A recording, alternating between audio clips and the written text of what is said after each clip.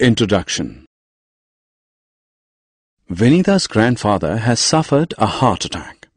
Her father and mother rush him to the hospital.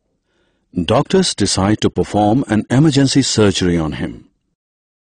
Next day at school, Vinita asks her teacher if the heart is the most important organ of the human body.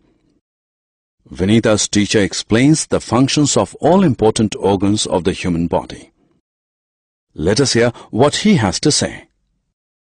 Objectives At the end of this lesson, you'll be able to define organs, differentiate between internal and external organs of the human body, state the functions of bones and muscles, brain, heart, lungs, liver, stomach, small intestine, large intestine and kidneys. Organs The parts of the human body that help the body perform functions like playing, bathing, walking, eating, digesting, breathing, etc. are called organs.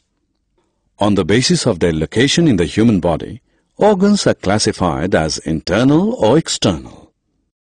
Let us learn more about the internal and external organs of the human body.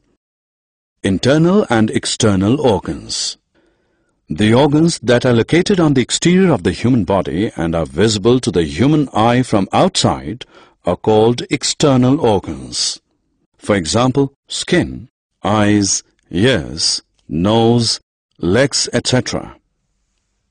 The organs that are located inside the human body and not visible to the human eye from outside are called internal organs.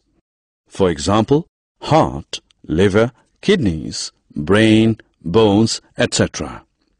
Let us understand how some internal organs function. It is time to check how well you have understood the difference between internal and external organs of the human body.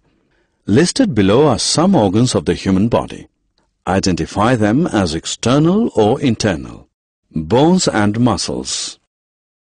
Running, jumping, walking, moving, folding hands, swinging legs, etc. are activities that involve movement of organs of the human body. All these activities are made possible by bones and muscles. Bones are hard organs of the human body they are made up of minerals like calcium and phosphate. Bones provide a framework for the human body. They provide support and protection to the internal organs as well. For example, the heart and lungs are protected by the rib cage and the skull shields the brain. Both the rib cage and skull are bony structures. Bones alone cannot make us move. Muscles attach bones to one another and facilitate movement. Brain Just as the pilot is the boss of an aeroplane in flight, human brain is the boss of the human body. Human brain is covered by a bony structure called the skull. Brain controls all the activities of the human body such as thinking, seeing, walking, speaking, and even sleeping. Heart Human heart is located in the chest cavity between the two lungs, a little to the left of the center of the human body. It is conical in shape. The heart of a human being is the size of his clenched fist. It is a bag of muscles responsible for pumping blood filled with oxygen and other nutrients throughout the body.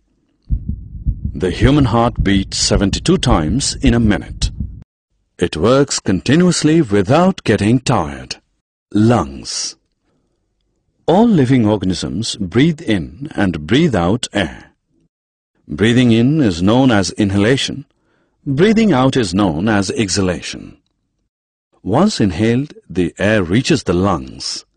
In the lungs, it is exchanged for impure air, which is then exhaled. Human body has two lungs, located on either side of the heart in the chest cavity. The nose and the windpipe form the passage for the air to move in and out of the lungs. Like the heart, the rib cage also protects the lungs. Fill in the blanks by dragging and dropping the appropriate options. Digestive organs Like machines, human body also requires fuel to perform work. The food that we eat every day serves as the fuel for our body. The food eaten by a human being is broken down into smaller pieces to obtain energy. This process is called digestion. Some main organs that help in digestion are liver, stomach, small and large intestines. Let us now understand the functions of these organs. Liver and stomach. The liver is a secretory organ that produces many juices that help in digesting food. The stomach is a J-shaped muscular organ that stores the chewed food brought in by the food pipe. The food is digested in the stomach with the help of enzymes and acids present here. Small and large intestines. The intestines are long tubes where the final breakdown and absorption of food occurs. The small intestine is a long, coiled tube where the digested food is broken down completely and absorbed into the blood. The large intestine absorbs water from the undigested food and also passes the waste food out from the body as feces. Kidneys The kidneys are organs that keep our blood free from unwanted substances called wastes. Our body has a pair of kidneys located just below the rib cage, one on either side of the body.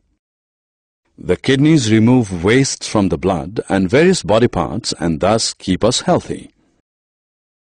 Summary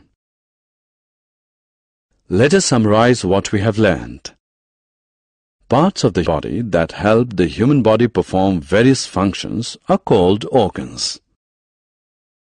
On the basis of their location, organs are classified as internal or external. Internal organs are located inside the human body and are not visible to the human eye from the outside. External organs are located on the exterior of the human body and are visible to the human eye from outside. Bones and muscles help us move and protect internal organs. The brain is the boss of the human body that controls all human activities. The heart pumps blood filled with oxygen and other nutrients to all the parts of the human body. Lungs facilitate exchange of gases. Stomach and small intestine help in digestion and absorption of food.